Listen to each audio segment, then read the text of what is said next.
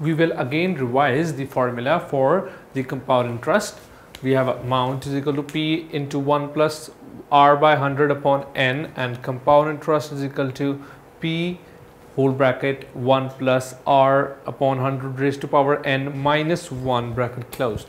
Here again A is the total amount, P is the principal, R is the rate of interest per conversion period n is the number of conversion periods, the total number of conversion periods.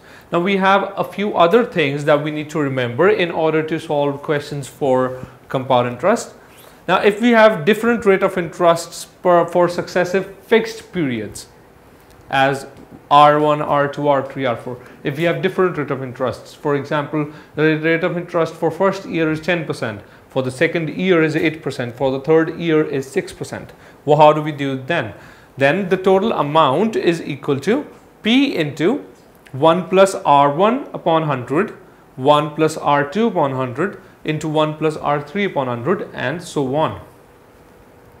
Now, we also need to remember that the compound interest and the simple interest are equal for the first conversion period provided that the rate of interest is equal.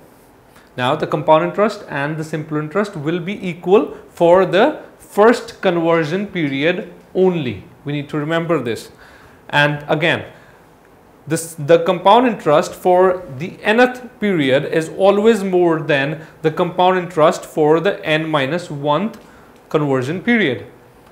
It means that the compound interest for the third year will always be greater than the compound interest for the second year the compound interest for the fifth year will always be greater than the compound interest for fourth year and so on. The compound interest for nth year, nth conversion period is always greater than the compound interest for n minus 1th conversion period. Now, the compound interest after nth conversion period is equal to, how do we calculate the compound interest for nth period? Supposedly you are asked to calculate the compound interest only and only for 5 years. If we are asked about uh, the compound interest after 5 years, we calculate it with this formula. After 5 years, how much is the compound interest? Now, supposedly we are asked about the compound interest for fifth year specifically. How do we do it then? We all know that the interest is equal to the amount minus the principal what will be the amount for the fifth year only? It will be the, for, sorry, I'm sorry, what will be the principal for the fifth year? It will be the amount after four years, right? So we have amount after fifth year minus the principal before fifth year.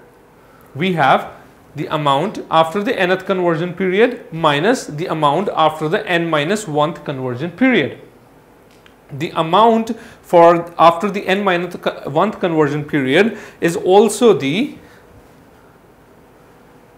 is also the principal for the nth conversion period the amount after the n minus 1th conversion period is also equally equal to the principal for the nth conversion period. We've done this in earlier classes.